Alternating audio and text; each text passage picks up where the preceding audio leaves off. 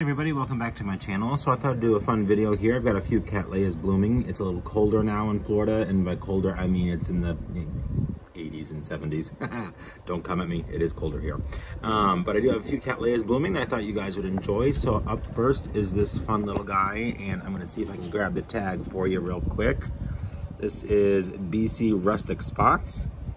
This is the first time it's bloomed for me. It is a little seedling size plant. You can see there, it's not a large plant at all. Two little flowers, love that one.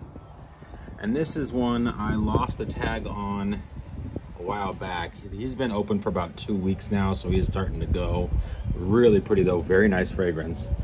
But this is one I'm really, really proud of. It's a huge, huge flower. And the scent is absolutely overwhelming. Um, he has two sheaths, but I don't know that the other sheath is going to do anything. We'll see. Um, but really, really nice plant. And then you can kind of start to see the buds forming in this one. This is another orchid, uh, another cattleya, and then there's a little something right down there on that one. So, and this is the same plant. So I'm hoping both of those do bloom. We shall see. Um, and then as to everything else, uh, I'm still battling thrips, unfortunately. Um, so you can see here, this one's a little weird looking because of that.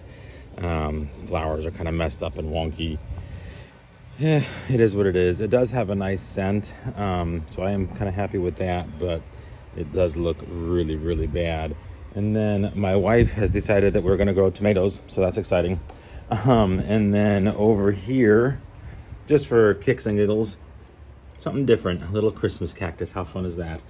Other than that, the only other thing going on now is since the temperatures are dropping, we are starting to see spikes on my phals, which is exciting. Um, I've got some phals inside that I keep in the bathroom because there's a bright window in there and they get a lot of um, humidity obviously from the shower. But you can see there, see if I can get it to focus, there's a spike forming on that one. And then I think this sad, sad little guy had something. Yeah, I'm not even to show him to you because he's so sad. Um, there was another one that looked like it was getting ready to, but these will start to, at the base of the plants, they're starting to kind of get a little bulbous. So that's when I know that they're getting ready to. He's getting a second spike on him, a secondary spike, I guess I should say. But um, I think back there, you can see there's a little green nub right there. That's a spike forming. Um, so yeah, you know, things are moving along. Since the weather does cool down a little bit here, you know, there is a little bit more activity in the ones that do prefer the cooler weather, um, which is mainly my cattleyas and my phals. So anyhow, again, just a quick little video. Wanted to show you guys, especially this one, because it's so cool. And it's the first time I've seen them bloom. Hope you guys enjoyed, and we'll see you soon.